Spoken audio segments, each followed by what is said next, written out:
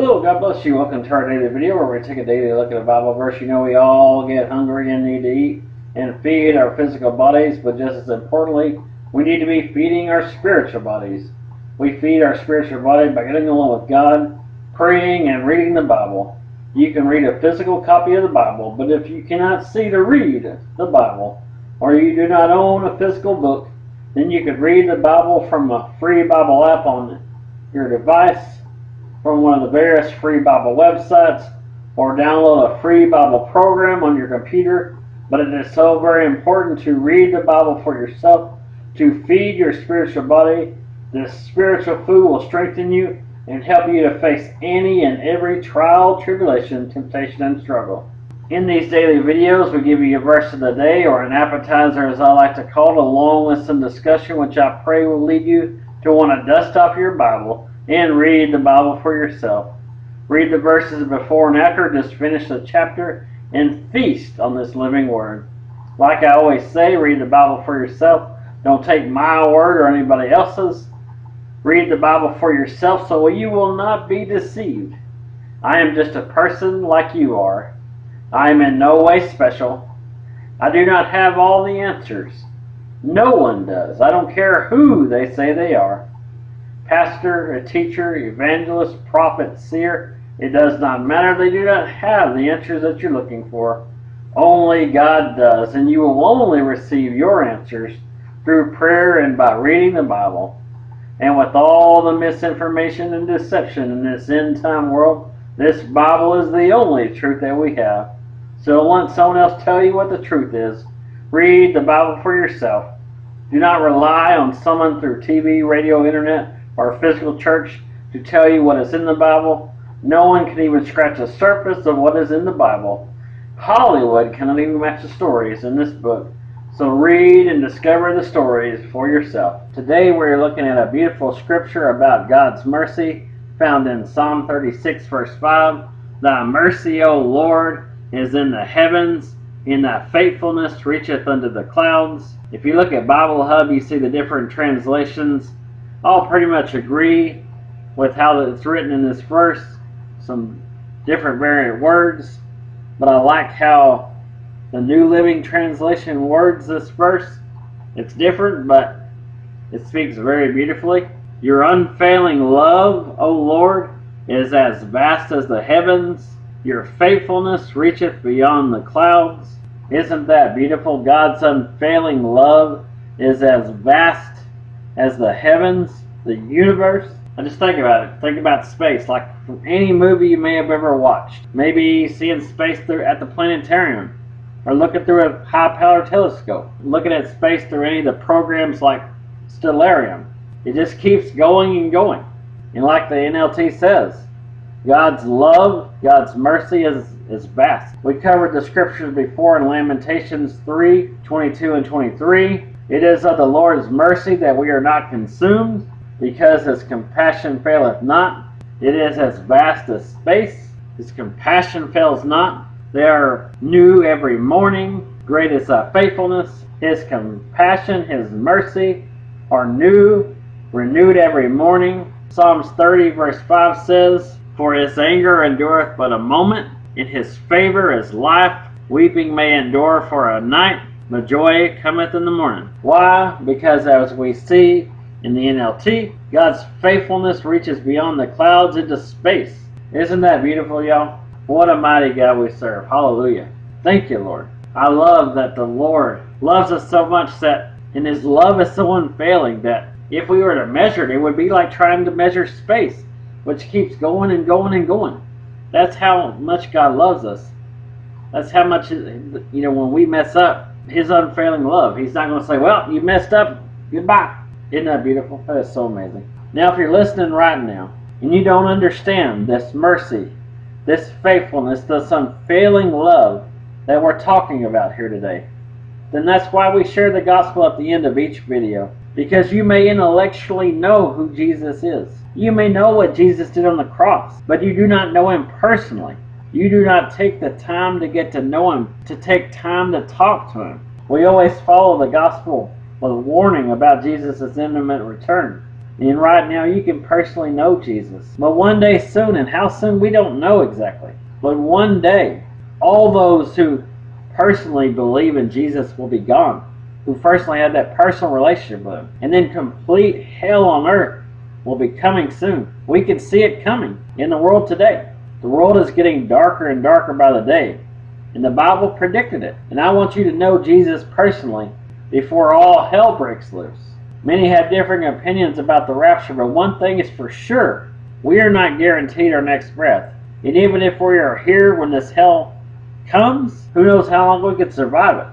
Because one day millions will disappear, along with all the children around the world. And when you hear that those people have vanished, know no matter what is said, the rapture has indeed taken place. So I'm giving you the gospel right now, while you still have time to turn to Jesus before it's too late.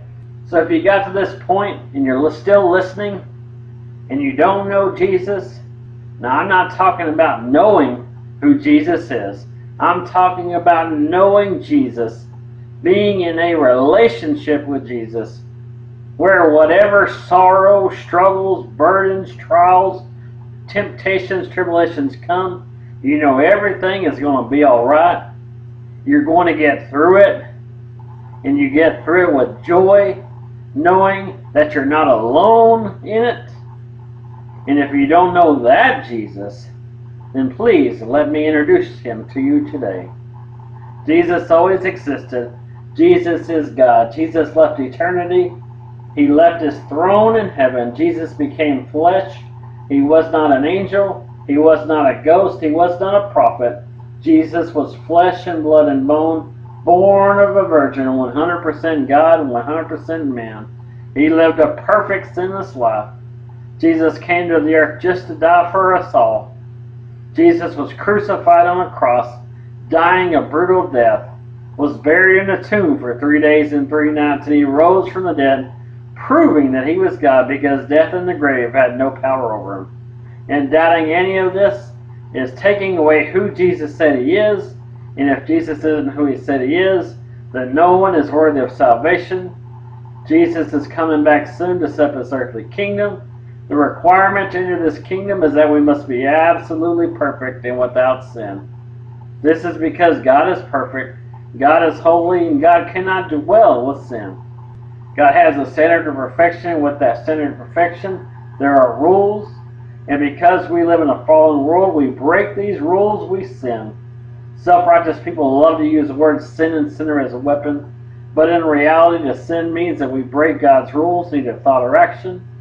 And the Ten Commandments alone show us that we cannot completely keep God's rules. The Bible is clear that no one is without sin. In fact, the Bible says if we say that we're perfect and we don't sin, we are lying to ourselves and we are calling God a liar. Because we all fall short, we all miss the mark, we all sin. Sin creates a separation, a valley between God and man. And with each sin, that valley gets wider and deeper. That sin is there because we live in a fallen world. And because of this separation, there is a punishment for sin that has to be paid. The wages of punishment for sin is death. All of us face eternal judgment and separation from God because we break God's rules, and since no one is righteous, which means no one is perfect. Something needs to bridge that valley of sin, and the only way to bridge that valley of sin and to pay the penalty for our sin is by the shedding of blood. In the Old Testament, they would use the blood of animal sacrifice. The animal sacrifice was only strong enough for one sin. Once they would sin, they would have to offer another animal. That animal sacrifice was like bridging that sin valley with a rope bridge once they would sin again, they would have to offer another animal because that valley would get wider and deeper and that bridge would snap. But unlike the animal sacrifice, which is only strong enough for one sin, Jesus' sacrifice on the cross was powerful enough to pay for all sin, all of my sin, all of your sin. In fact, all the sins of everyone who believed in Jesus in his day, about 2,000 years ago, all the way to today and all the way to the end of the world. Jesus wants to save us from the penalty of our sins and give us eternal life. When Jesus died on the cross, Jesus took our place, suffered God wrath for us, The punishment that we deserve for our sin was poured out on Jesus. The Bible says that God gave his son to the world to die in our place. Jesus took our sins. Jesus nailed our sins to the cross with him. Jesus shed his precious blood, which covered our sins. Jesus paid God's unpayable price to permanently bridge our valley of sin. When Jesus died on the cross, just like the song says, Jesus paid a debt he did not owe, but we owed a debt to God for our sin that we couldn't even begin to pay. And Jesus knew because of our sin that they were guilty, and we're the ones that deserve to die. And though Jesus was innocent of death, Jesus loves us enough that he died for us.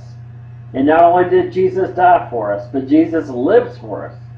Jesus is in heaven right now interceding for us as our mediator, testifying to God that we are his and that our sins are forgiven. This is why Jesus truly is the only way to the Father. He is the only one worthy to pay the price for our sin.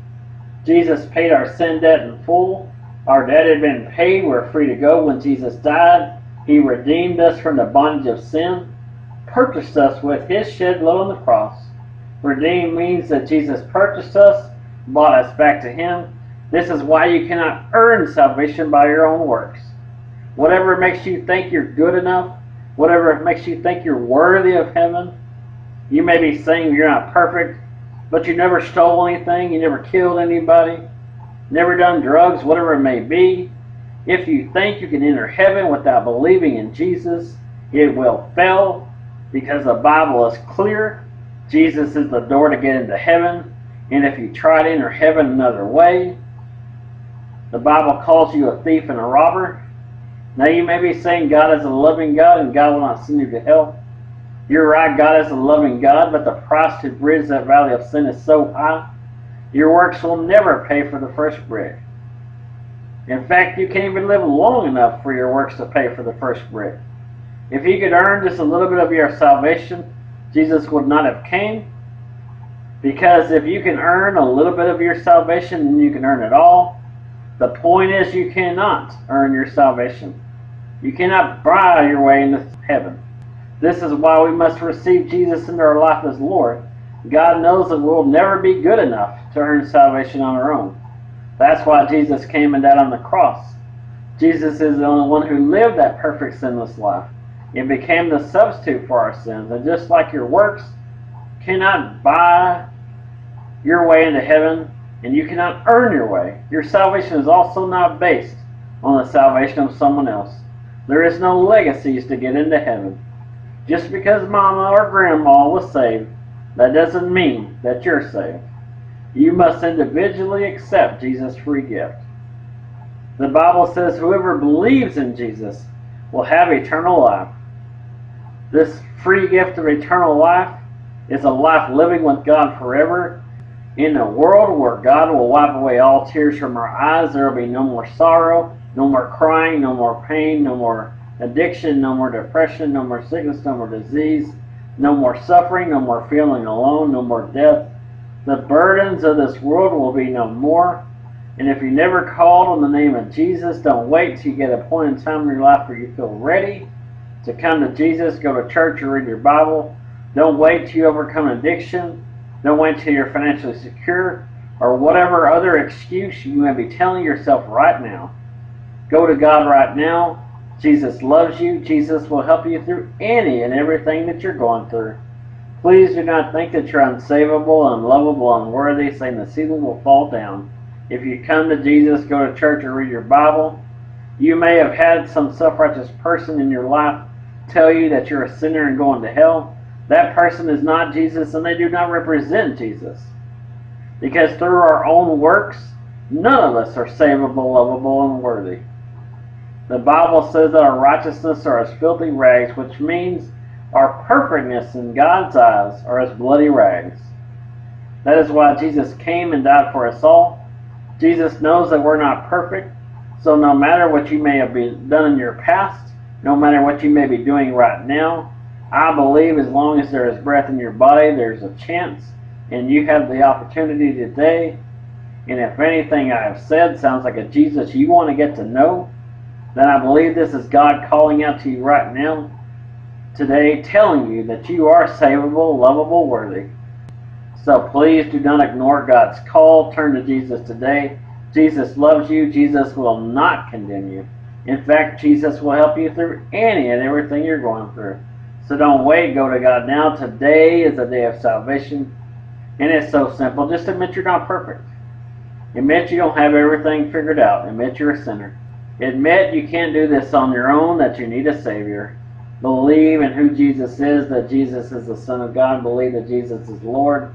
Believe that Jesus died for you, that Jesus paid for the price for your sin on the cross, and Jesus was buried and God raised Jesus from the dead, and now Jesus lives for you.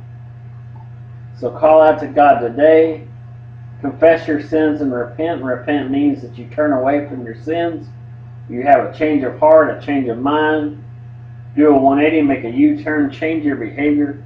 When you repent, you tell God that you are sorry for breaking His rules. But more than that, it means that you see things as God sees them. And this makes you want to obey God's rules and not do anything wrong again. And you do not need someone telling you your faults, kicking you while you're down. You need someone who's going to pick you up just know that you're so loved, you're so special to God. When God formed you with his hands and placed you inside your mother's womb, God created you into the beautiful, unique person that you are. And God has a plan for your life. And like any good parent, God, who is our Heavenly Father, only wants the best for you. So seek Him today. Jesus is coming back soon. We can see all the signs that Jesus talked about. War, sicknesses, natural disaster. It's all happening worldwide. And if you doubt that we are in the end times, we have a questionnaire in the description box called Do You Think We're in the End Times? Take the quiz. Feel free to give us your answers in the comments section. I think if you are paying attention to the world around you, you will see that we are truly in the end times. And before you say there's always been wars, sicknesses, natural disasters, let me say yes, you are absolutely right. There has. But now, as predicted in the Bible, it's all happening worldwide, and like birth pains, these end time events are happening more frequently and more intensely. So do not wait. Do not put Jesus off. Go to God now. Give your life to Jesus today while you still have the opportunity. We covered in the gospel that Jesus already paid the price. It's a free ticket waiting for you to enter into heaven, and you have the opportunity today to turn to Jesus before it's too late. This is your wake up call. Jesus is coming back soon. Bible prophecy is jumping off the page. We do not have time to wait. The Bible is clear that we are not guaranteed tomorrow. There is no guarantee that we'll see the sunrise tomorrow. So tomorrow may be one day too late. So please turn to Jesus today. Well, I pray you got something out of the message today. If you did, give God glory. Remember that I love you and Jesus loves you. Hope you have a great day. We'll see you tomorrow, God willing, or hopefully We'll see you in the clouds.